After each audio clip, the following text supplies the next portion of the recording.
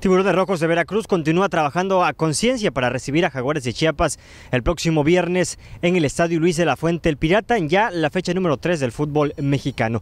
Este martes el trabajo fue a puerta cerrada en el Coloso del Fraccionamiento Virginia.